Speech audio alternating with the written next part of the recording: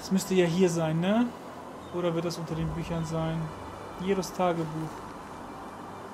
Erster Brief. Mein Name ist Jero Sonnenwind und dies ist mein erster Lebensbrief. Ist das richtig? Muss ich jetzt näher rangehen dafür oder was?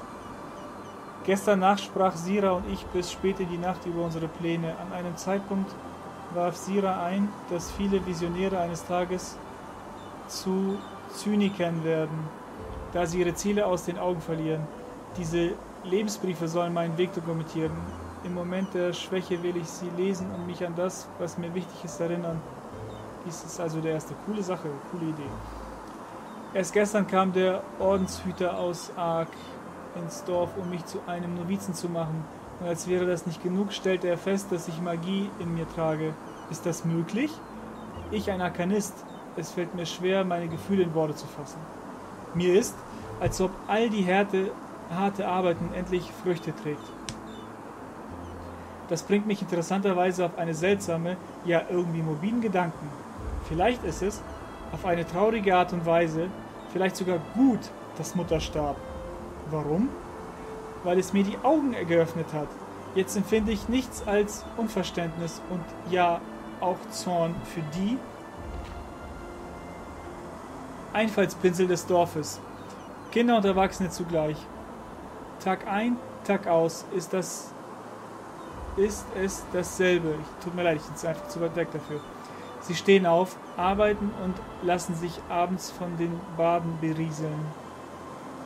Sehen Sie denn nicht, wie es um die Welt bestellt ist? Soll alles, was Sie der Welt hinterlassen, wirklich nur ein flüchtiger Aufschrift auf dem Reisestein sein? Sira ist anders. Sie versteht mich. Wir teilen unseren Traum. Und wenn Meister Igraz sie als Lehrling akzeptiert, können wir uns auch für meine Zeit im Noviziat so nah sein wie jetzt. Okay. Zweiter Brief. Oh Gott, 15 Jahre sind vergangen und viele meiner Wünsche sind in Erfüllung gegangen. Sira und ich leben nun zusammen, aber anstatt in den Tempelquartieren leben wir unter den Handwerkern. Fünf Jahre ist das nun her, dass ich die heilige Prüfung abgelegt habe, aber anders als ich es früher noch plante, habe ich mich gegen die militärischen Pfad entschieden, sondern werde Magister in Skula sein. Warum? Weil ich denke, dass ich mehr erreichen kann, wenn ich den Nachwuchs des Landes meine Vision weitergebe, als wenn ich an Kriegern teilnehme, an Kriegen teilnehme, die zwar manchmal notwendig sind, aber im Grunde genau das darstellen, was ich bekämpfen will. Darüber hinaus hat die Tuchesa kürzlich dem Gesetzerlass des Armeetafel zugestimmt, den Zira und ich gemeinsam erarbeitet haben. Zweimal jährlich verpflichtet er jeden wohlhabenden Endlehrer eine Handvoll Groschen in eine Tour zu zahlen, aus der dann die Ärmsten der Unterstadt eine warme Mahlzeit äh, gekauft werden soll. Die Reaktionen waren gemischt. Einige stimmten der Idee fast schon mit Begeisterung zu, manch andere zeigten sich empört. Häufig hörte ich Sätze wie, die sind doch selber an ihrem Unglück schuld. Oder wenn sie nur mal arbeiten würden, dann würden sie sich auch nicht, würden sie auch nicht hungern. Und sie machen mich wütend. Ja, verstehe ich. Was für eine verdammte Ignoranz das doch ist. Natürlich ist es leicht, den Himmel von der Spitze des Elfenbeinturms auszusehen, aber das werden sie nie begreifen. Aber so wütend dieser Brief auch klingt, eigentlich bin ich zufrieden. Ich verspüre ein Gefühl von Sinn, von einer Richtung, die ich mich bewege. Und einen nicht so geringen Teil meines Glücks verdanke ich der Frau, die nach all den Jahren immer noch zu mir steht. Irgendwie interessant. Ich weiß, dass du diese Zeilen vermutlich nie lesen wirst, eben, ebenso wenig wie ich die deiner Briefe. Aber trotzdem habe ich das Gefühl, durch die Tinte mit dir sprechen zu können. In diesem Sinne, ich liebe dich, Sira. Dritter Brief. Sira ist tot getötet von einer Bande Halunken, als sie Essen für die Armestafel in die Unterstadt brachte. Wie schnell diese Worte geschrieben sind, aber wie kann ich diesen Schmerz, diese Leere nur annähernd ausdrücken? Es klingt so absurd. Ich spreche mit einem Pergament, weil mir niemand anderes zuhören will und ansatzweise verstehen kann, was das für mich bedeutet. Sira sagte mir immer, Die Briefe würden mir Kraft schenken, aber das tun sie nicht. Die Zeiten erscheinen mir fremd. Alles fühlt sich falsch an. Ich fühle mich falsch, wenn ich morgens aufstehe.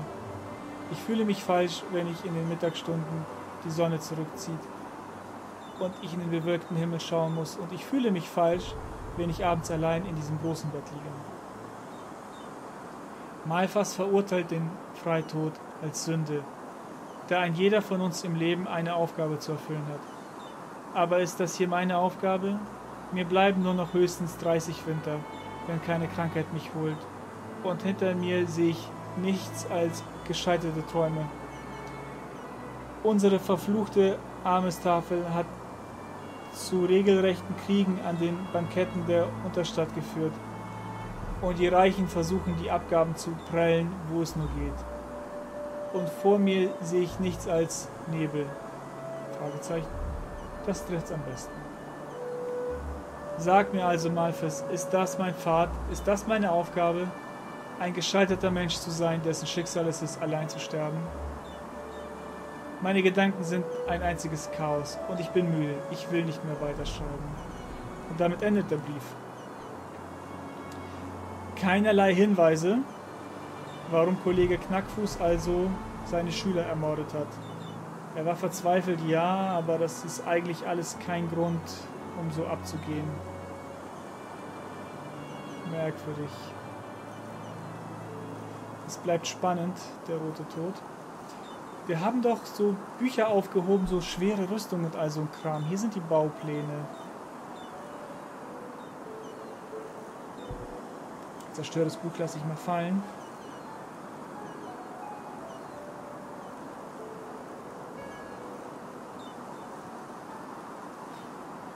Ich kann das. Ich habe keinen Plan, was ich mit diesen Bauplänen machen muss. Ich, ich, ich verstehe es nicht.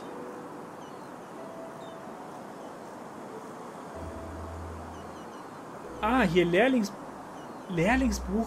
Die haben ein Apfelsymbol. Da, Lehrlingsbuch Alchemie. Lichtmagie, schwere Rüstung. Zweihandkampf. Okay. Äh, das hätte ich jetzt nicht gedacht, dass die unter Essen zu führen sind.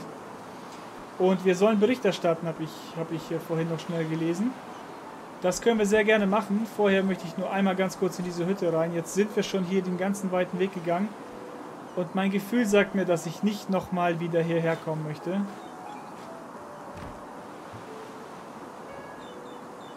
Siehst du, hast es schon gelohnt, dass ich wiedergekommen bin. Handwerk erforderlich 20. Feldlederrüstung. Mein Gott, wie kriegt man das bloß gelernt? Ich, äh, so, wenn ich jetzt hier bin und ich, ich habe Handwerkspunkte, acht Stück. Aber was mache ich bloß damit? Handwerkspunkte erhaltet ihr in jedem Stufenaufstieg. Mit ihnen könnt ihr Handwerksbücher lesen, die eure handwerklichen Fähigkeiten steigern. Aber hm, benötigt einen Schlüssel. Ähm, ich nehme an, der Besitzer ist nicht da. Da sind bescheuerte Hunde, auf die ich jetzt gar keinen Bock habe. Ach, oder ist das das Haus von dem Knecht hier? Wie heißt das Ding? Nee, ist Panthers Haus.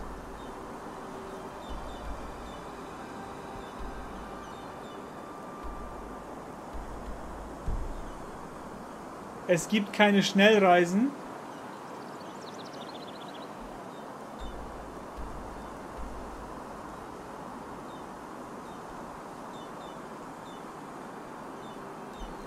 Gibt es nicht. Man kann nicht schnell reisen.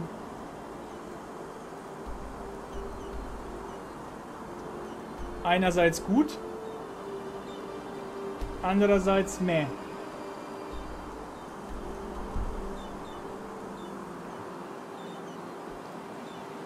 Ich finde auch, äh, das hat Skyrim so ein bisschen, ein bisschen lieblos gemacht, weil man einfach durch Schnellreisen die gesamte Welt überquert hat, ohne wirklich ein, ein Teil dieser Welt zu werden.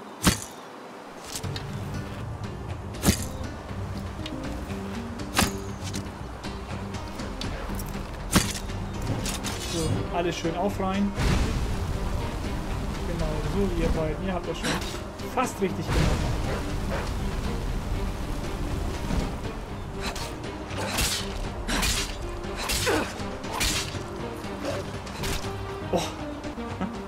Schön am Kopf festhalten und ab damit in den Nacken. Hast du Fleisch oder... Ne, einen alten Pfeil. Hast du irgendwas? Nein. Danke für die Erfahrungspunkte. Tschüssi! Weiter geht's hier. Weiter geht's. Da vorne ist irgendwas. Und da ist auch irgendwas. Korumerz, Bergbau. Ah, wenn ich doch bloß wüsste, wie man diese Handwerkssachen lernt. Diese Pläne. Wir waren aber eben halt auch noch nicht in einer einzigen richtigen Stadt. So, bis jetzt war immer alles immer nur so einzelne Häuser und vielleicht, vielleicht hätte man in der Mine irgendwelche Eisenbearbeitungssachen finden können. Aber ähm, ich will euch da jetzt auch nicht langweilen, indem wir durch Minen kriechen. Ist das eine Mine, die ich schon habe? Nein. Dann will ich die mal ganz kurz aufdecken, damit sie auf der Karte erscheint, dass ich dann einfach weiß, da ist eine Mine, da kann ich hingehen, wenn ich Erze brauche. Weil das wird passieren. Also, wie gesagt, ich handwerke wirklich sehr gern. Alten Stollen entdeckt. Und ich wurde nicht angegriffen. Ich bin begeistert. Kann ich hier einfach schick durch? Da ist wieder eine Hütte in die Richtung. Ich speichere mal. Aber wer weiß, wann ich das letzte Mal gespeichert habe. Pilze.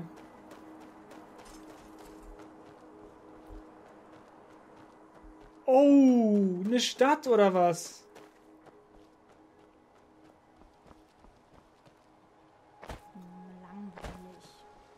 Hey, du da. Ja, genau, du. Soll ich dir ein Geheimnis sagen? Ach. Naja, ich hab was gefunden, was richtig Tolles. Aber allein komme ich damit nicht weiter. Ich brauche die Hilfe von jemand Großem und Starkem. Wie wär's also? Ich zeige dir, was ich meine und du versprichst mir dafür dann, dass du mir damit hilfst. Was sagst du? Und warum fragst du da für mich und nicht deine, ich weiß nicht, dein Vater, deine Geschwister? Ich könnte gefährlich sein. Gefährlich? Ich... Hm, ich weiß nicht. Dann wärst du doch nicht so nah an Flussheim und den Gardisten, oder? Außerdem dürfen Papa und die anderen nichts davon wissen, sonst klappt die Überraschung nicht mehr. Na schön. Oh, klasse. Ich wusste, dass du Ja sagen würdest. Komm mit. Ist das eine Falle?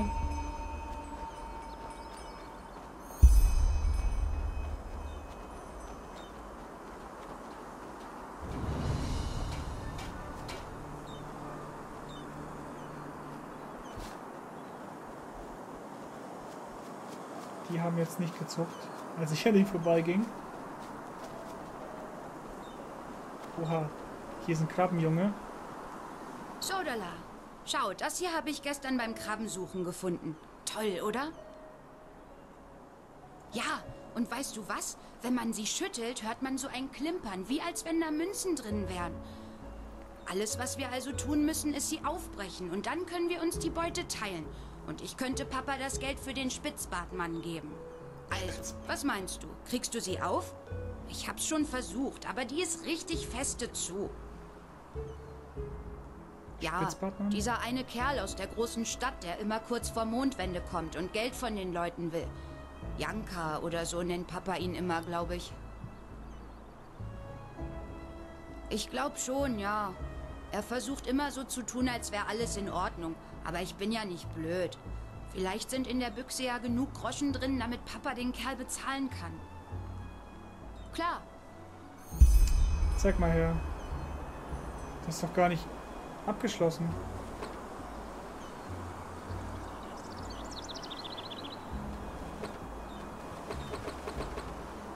Hm. Also bei Baldur's Gate gab es mal einen Zauber. Der hieß Anklopfen. Ich nehme nicht an, dass es hier sowas ähnliches gibt.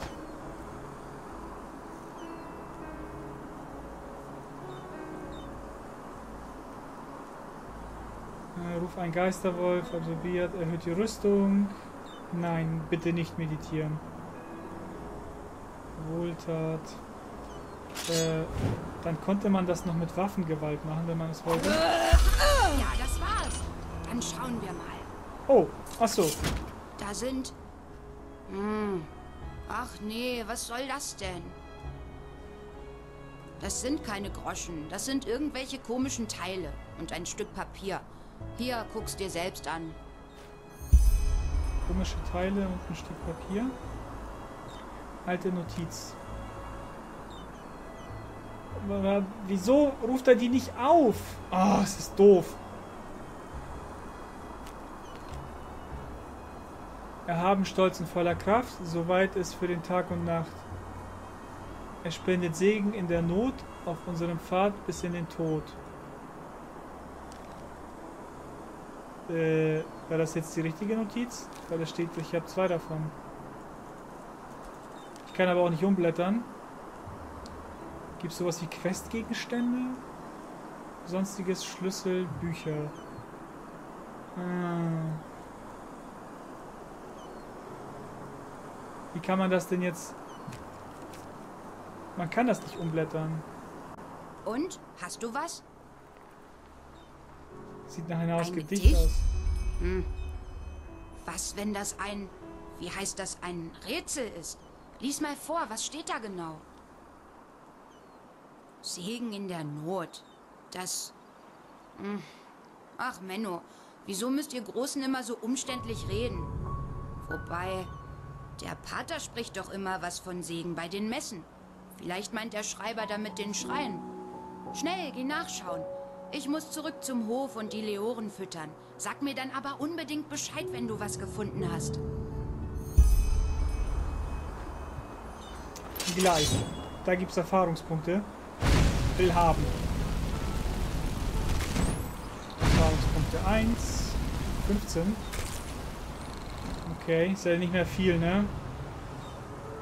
Ist das weniger geworden oder war das schon immer so wenig? 15. Merkt man sich jetzt einfach mal die 15 und dann sieht man das ja. Die kann man ja auch direkt essen, ne? Wenn man sie mit so einem Feuerzauber umhaut. Ist aber leer. Ist leer. Oh Gott, ich muss so viele von denen töten, wenn ich mit dem Level aufsteigen will. Das hätte ja so ein bisschen was von South Park. Make Love Warcraft. Eine mit im, imposande Krabbe. Lauf doch nicht weg. Wie viel gibt die? 35, wow.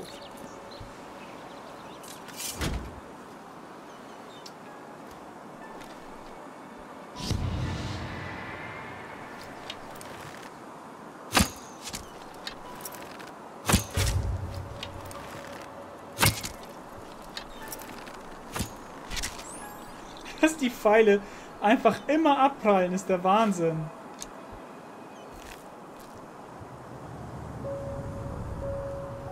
Es ist fast egal, wie schwach der Bogen ist. Auch so ein 20-Pfünder Pfeil würde sich locker in so eine Krabbe reinbohren. Behaupte ich jetzt mal. Menschenschädel kriegt man damit auf jeden Fall durch, aus so in der Nähe.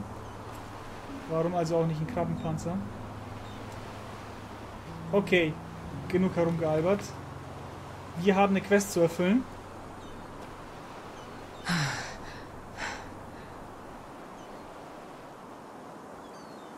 Also zurück zum Quest-Ausrufezeichen da. Oh. Verdächtiger Erdhaufen. Dann lege mal los. Du buddelst schon wieder in die falsche Richtung. Sie buddelt den, den Erdhaufen zu. Ja. Gib mal her die Flöte, die ist Geld wert. Lehrlingsbuch. Papieren, was? Verbessert Papieren für Lehrling. Was ist Papieren?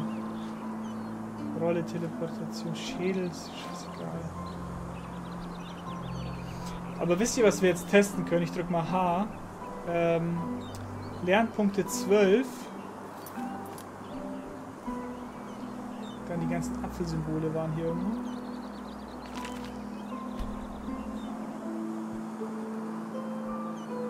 Elf. Hm. Oje, oje, ich habe alles durcheinander gelernt. Jetzt muss ich wirklich damit aufhören und nur noch das nehmen, was ich auch wirklich benutzen Warst möchte. du schon beim Schrein?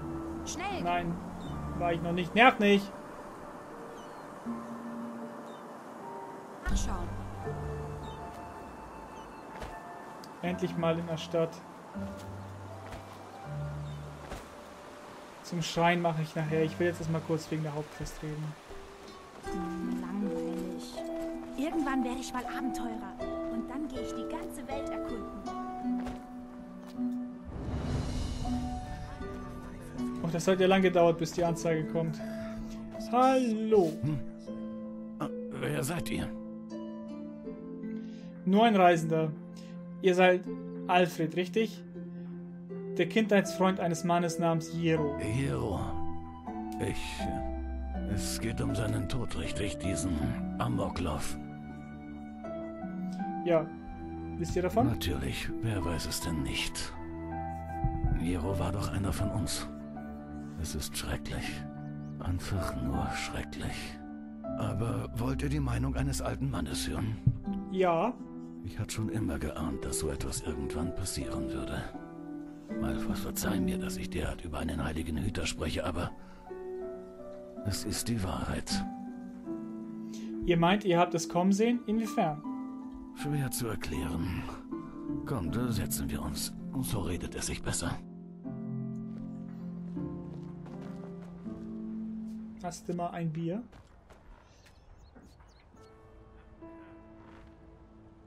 So. Ach, Jero. Da habt ihr wirklich ein Kapitel aufgeschlagen, wisst ihr das? Ihr hattet recht mit dem, was ihr vorhin gesagt habt. Wir zwei waren früher beste Freunde. Unsere Väter haben sich gekannt. Und seit ich denken kann, haben Jero und ich irgendwelchen Unfug miteinander getrieben. Zumindest bis seine Mutter damals starb. Nicht an Altersschwäche, schätze ich. Nein, Banditen. Mitten auf der Groschenstraße. Letztens ist das ja normal geworden, aber damals galt sie noch als sehr, sehr sicher. Sie war auf dem Weg nach Ark mit drei anderen Frauen und oben beim Pass ist's dann plötzlich passiert. Niemand hat überlebt. Jero hat es zerschmettert. Wobei ich fast glaube, dass das Schlimmste für ihn war, wie sein Vater nach dem Vorfall zerfallen ist. Die Fischerei verkam und der arme Kerl tat Tag ein, Tag aus nichts anderes mehr als saufen und schlafen. Das hat Jero für immer verändert. Wie genau? Tja, gute Frage. Einerseits wurde er zum Mann, trotz seines zarten Alters. Und andererseits hat es etwas in ihm geweckt, könnte man sagen. Den Wunsch, irgendwie mehr aus seinem Leben zu machen. Die alte Mutter Jennik hat das gemerkt und nahm ihn zum Lehrling. Er lernte lesen und schreiben und konnte die gesamten heiligen Verse irgendwann auswendig. Und wenn er nicht gerade seinem Vater aus dem Suff helfen musste, half er überall im Dorf, wo er konnte. Er hat seine Trauer in Schaffenskraft verwandelt. Das klingt doch eher nach einer guten Entwicklung. Ja, so kann man's sehen. Es dauerte nicht lange, da war er das Juwel des Dorfes. Der strebsame Fischerjunge, der, obwohl er nur schaffenden Pfades war, zu Großem bestimmt sein konnte. Und dann kam's, wie es kommen musste. Ein Ordenshüter kam nach Flussheim, um das Wunderkind mit eigenen Augen zu sehen. Und siehe da, im all seinem Scharfsinn hatte er noch eine schlummernde Magiebegabung. Der Hüter nahm ihn mit, und ein paar Monate später begann er sein Noviziat. Seither habe ich ihn nur noch ein, zweimal gesehen, weil er nur noch sehr selten nach Flussheim kam. Ich glaube fast, dass er gar nie bemerkt hat, wie sehr mich das damals getroffen hat. Und was meint ihr nun damit, dass Jerus Tat habt kommen sehen? Oder ist es so ungewöhnlich, dass sein schaffenden Pfades eine Chance bekommt, ein Hüter zu werden? Das finde ich auch interessant. Wenn ein Schaffender es zum Feldwebel in der Garde schafft, ist das schon Grund für ein eigenes Bardenlied. Er muss der erste Novize seit Jahrhunderten gewesen sein, der nicht erhabenen Pfades war. Also ja, es ist ungewöhnlich. Mehr als nur das. Und was meint ihr nun damit, dass ihr Jerus Tat habt kommen sehen? Tja, das ist schwer zu erklären. Ich glaube, es war die Art und Weise, in der er immer von seinen großen Plänen erzählte. Wie er die Welt verbessern würde und zum mächtigsten Hüter seit Loram Wasserklinge aufsteigen würde. Unter all dem war nämlich immer so eine Wut. Eine Wut gemischt mit unglaublicher Trauer und Enttäuschung. Ich glaube nicht, dass ihm das selbst wirklich klar war. Diese Wut war es nämlich, die ihm die Kraft gab, all das zu tun, Tag und Nacht zu schuften und zu lernen. Aber auf mich wirkte sie auch immer gefährlich, wie der blaue Tod. Er lauert in dem weglosen Magier, der glaubt Magie ohne die Hilfe des Ordens meistern zu können. Und erst schenkt er ihnen Kraft. Aber dann, eines Tages, bricht er mit all seiner unheiligen Zerstörungskraft hervor und macht sie zu den Bestien aus den alten Liedern. Aber was soll's? Ich bin nur ein alter Mann und was weiß ich schon von solchen Sachen. Lasst mich nun etwas schlafen gehen, Madame. All die Erinnerungen machen mich müde.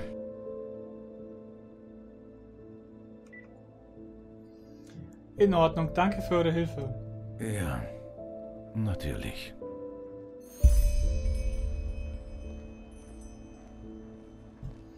Jasper berichten.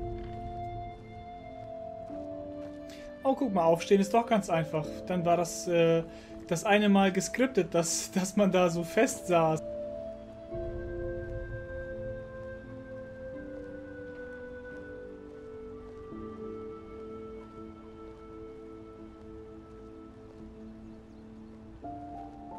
So, und ich bin jetzt mal auf der Suche nach einem Händler und einer Schmiede und mal schauen, was wir davon so finden. Und was mich mal interessieren würde, ist, habt ihr Interesse, das mit anzugucken? Oder soll ich einfach die Kamera ausmachen und so dieses Inventar-Management-Gedöns einfach off-camera machen, so dass es dann auch nicht stört? Ich, kann, ich könnte mir vorstellen, dass euch das vielleicht langweilt. Und man das dann einfach an, wieder anmacht. Wenn es wieder Richtung Questen geht. Egal welche Quest, aber ähm, so jetzt hier das Herumeiern in der Stadt und Inventur, äh, Inventarmanagement etc. bla bla. Sichere Tour. Ihr habt eine sichere Tour gefunden. Gegenstände, die ihr in sicheren Touren ablegt, können nicht verloren gehen oder gestohlen werden. Ihr findet in jeder Siedlung in Myriadentürmen sichere Türme tun. Alle Touren teilen sich dasselbe Inventar. Oh, ist das ein schöner Luxus.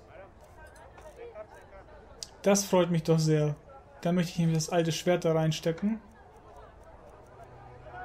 Und diese ganzen Zauberstäbe erstmal beiseite schaffen. Und wenn ich ein bisschen drüber nachdenke, finde ich bestimmt noch viel mehr, was ich da reinstopfen will. Nur eben nicht jetzt im Moment. Oh, guck mal hier Alchemie. Vielleicht darf ich das mal kurz anfassen. Ihr könnt Tränke und Gift brauen, indem ihr zwei oder mehr Zutaten mit demselben Effekt kombiniert. Experimentiert mit verschiedenen Zutaten, um bisher unbekannte Effekte zu entdecken. Okay ähm, Distel und Pilz. Und dann kann man auf Herstellen. Mischung fehlgeschlagen. Okay, das ist genau wie, wie man sich das vorstellt aus Skyrim. Die Sachen, die man schon miteinander kombiniert hat, werden grau dargestellt. Und am Anfang erschaffen Gift, schädigende Ausdauer. Ihr zieht dem Ziel 5 Ausdauer. Ist jetzt nicht wirklich gut. Ich stelle es nochmal her, um zu sehen, ob es Erfahrungspunkte gibt. Und ja, man kriegt 3 Erfahrungspunkte dafür. Man kann auch die, ähm, die Sachen einfach essen, aus dem Inventar heraus. Lebensenergie wird für 6 gefestigt für 60 Sekunden. Ist jetzt nicht so geil.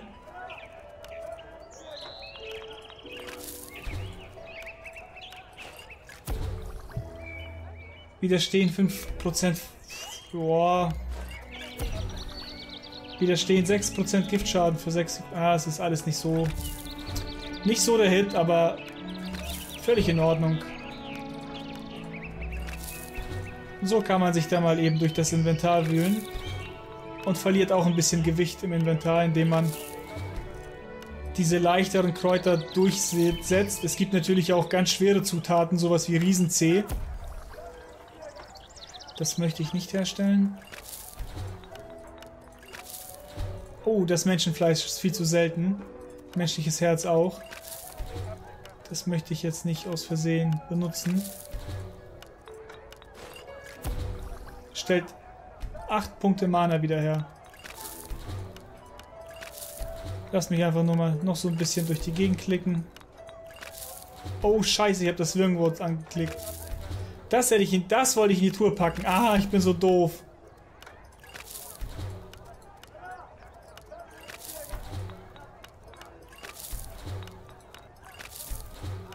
So wird man sein Gewicht auch los. Coole Sache. Äh, widerstehen 5 Schockschaden. Unter normalen Umständen hätte ich das jetzt vielleicht einfach durchgesemmelt. Ach du Sch man kann sogar drei Gegenstände kombinieren. Ich dachte, dafür muss man erst eine etwas höhere Stufe in Alchemie erreichen. Er zieht im Ziel Mana. Ah.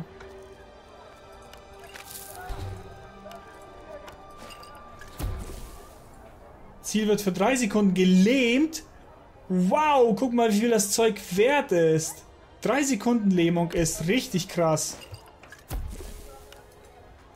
Ey, da habe ich ja mal was Gutes gefunden.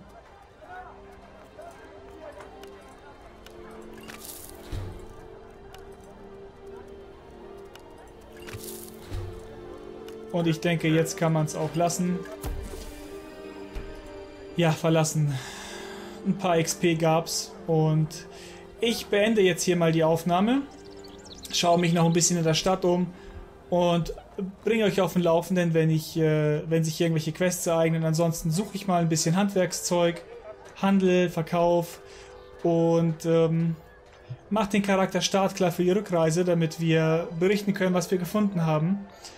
Soweit, vielen Dank fürs Zusehen und ich hoffe, es hat euch Spaß gemacht. Bis zum nächsten Mal. Macht es gut alle zusammen. Tchau, tchau.